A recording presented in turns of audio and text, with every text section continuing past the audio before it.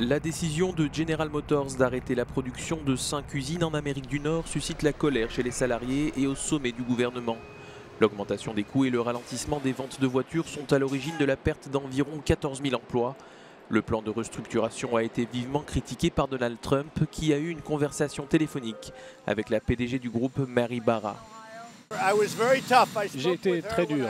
Je lui ai parlé et quand j'ai entendu le mot fermeture, je lui ai dit que le pays avait fait beaucoup pour General Motors. Je lui ai dit, vous devriez revenir rapidement.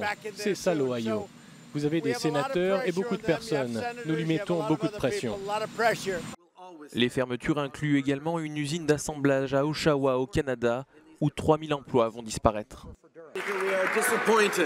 Nous sommes déçus par la décision de fermeture de General Motors vis-à-vis de l'usine de Shawa. Nous pensons à ceux qui vont perdre leur emploi et à leurs familles.